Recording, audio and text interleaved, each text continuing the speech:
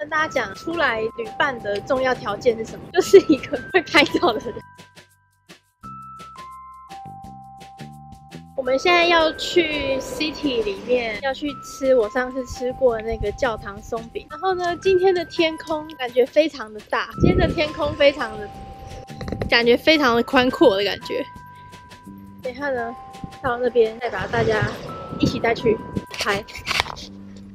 布里斯本的 South Bank 就是南岸，南岸这边呢有这个布里斯本市的布里斯本市中心的地标，哎，他还拍得到我。然后后面就是布里斯本市的地标，就是他写 Brisbane，然后后面就是它的 City 了。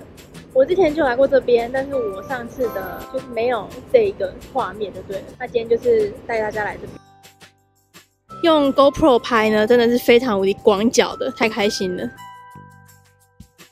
跟大家讲，出来旅伴的重要条件是什么？就是一个会拍照的人。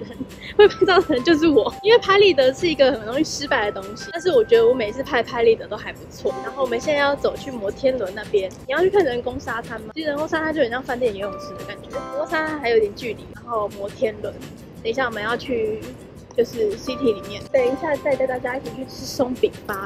现在又来到了这个庙，这应该是庙啊，其实我还是不知道它是什么，但是它应该是庙。这个这样用 GoPro 拍起来好像很厉害的感觉。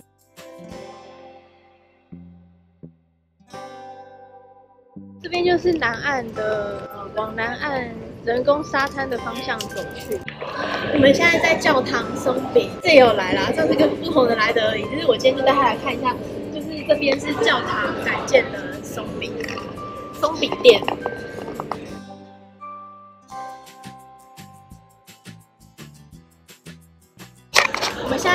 呃松饼送到了，然后这个是他点的是复活节才有的餐，然后我的就是一般的那个普通的松饼。接下来就是要吃松饼啦。Hello，大家，现在我回到家了，然后呢，我刚刚去买了这个，它就是我上次在我的 Instagram 上面 po 过的一个墨西哥连锁餐厅的东西。那因为我在美国也是很喜欢吃那个墨西哥连锁餐厅的这个类似的东西啦。所以呢，我今天就去买。然后呢，因为我很喜欢吃洋葱，所以我就要加洋葱进去。好像是废话哈。今天呢，大概就到这边。明天呢，呃，没有要做什么，但是如果有做什么事的话呢，会继续录影给大家看的。好吗？我老板娘。他很喜欢台湾的这个八十块一双的，就是路边摊的拖鞋，所以他托 mini 从台湾带了很多这个拖鞋。他说这个是他穿过最好穿的拖鞋。Hello，大家好，我是楚乔。那我今天要跟大家分享的是我的近期